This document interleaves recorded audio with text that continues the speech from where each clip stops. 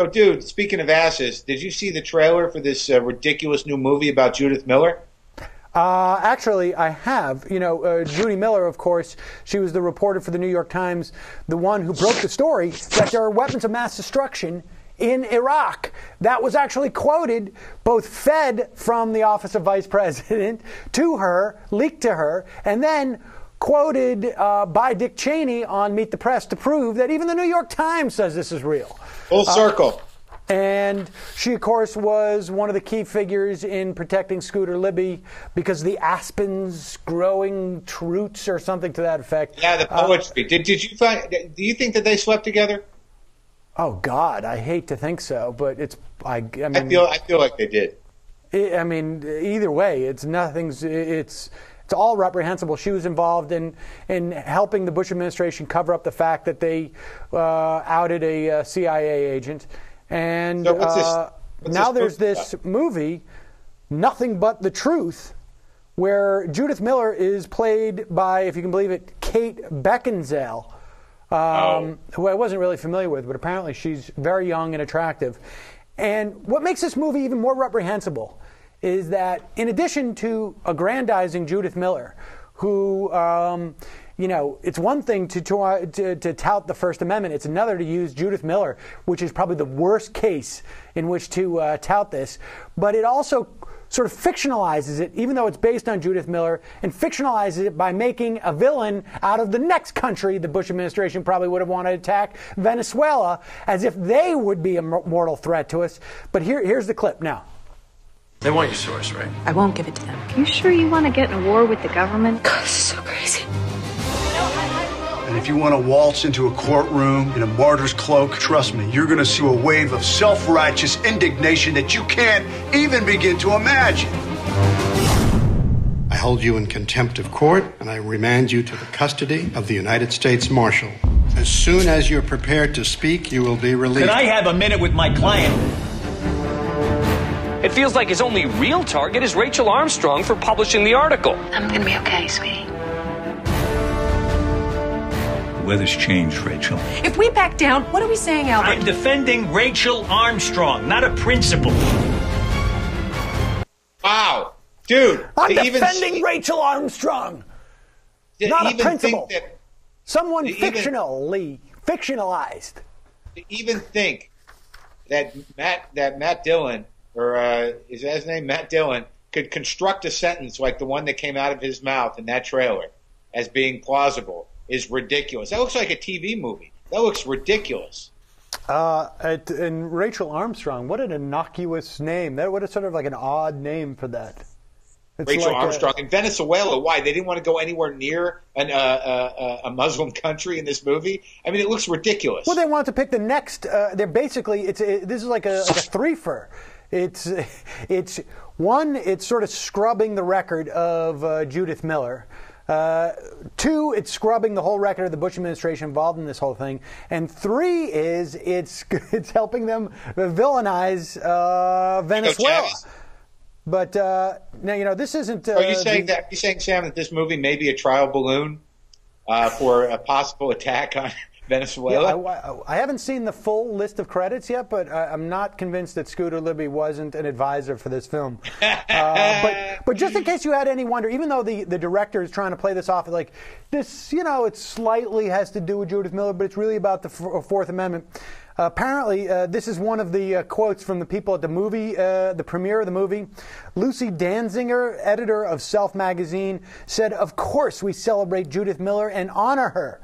Director Rod Lurie talked about the heroes of the First Amendment. Now, this, of course, is just bullshit. If you want to do a, a, a, movie about the heroes of the First Amendment, there are any number of guys you could pick uh, to to highlight. This, this is it, it, it's a horrible, a, horrible revisionism.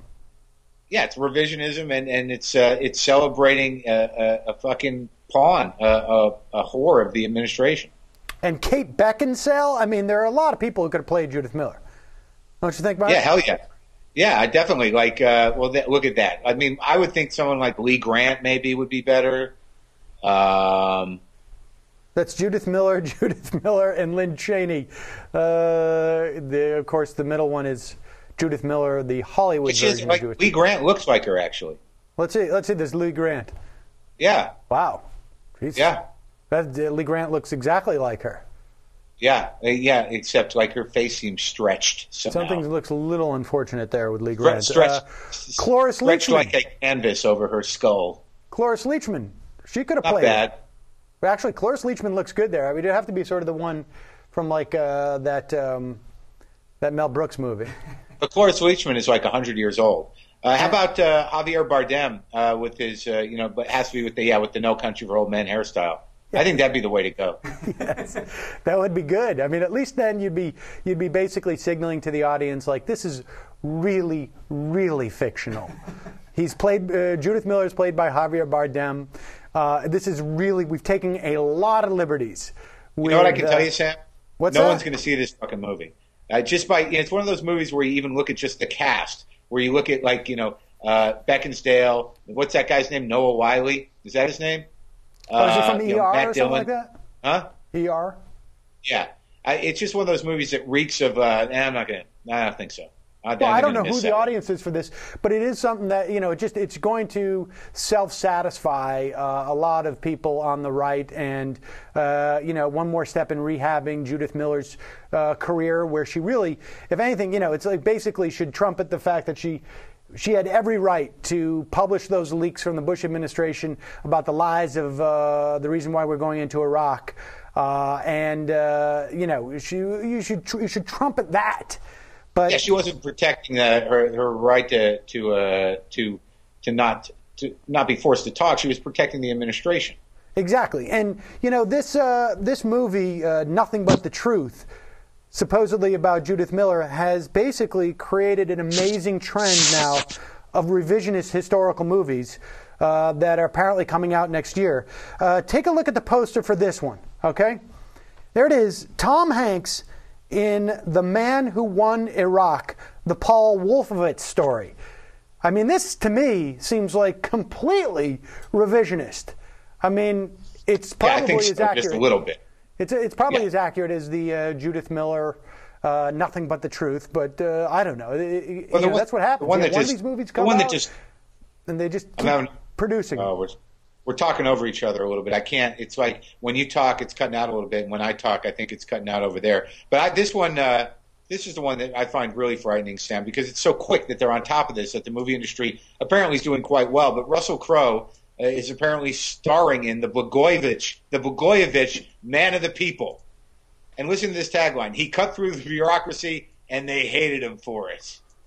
that is an That's amazingly quick turnaround for that. But yeah, also, because it's not even over. We don't even know how that movie's going to end. For Christ's sake, it's it's just amazing how quickly these ideas are sold and and just put out there. I mean, I'm, I'm imagining Blagojevich got a little money for that. I would think so. And and who's the they? Yeah, the, the, the they. There's many days, but we all know who the real day is. All right, and this one is is the absolute height of revisionism. Uh, this is the the project for a new American century. Apparently, you know, now that they're uh, going to be out of power, uh, at least in the administration, have started a films division now. Here's their first feature, which I guess is set to be released in the middle of 2009. Great start. America's busting out all over.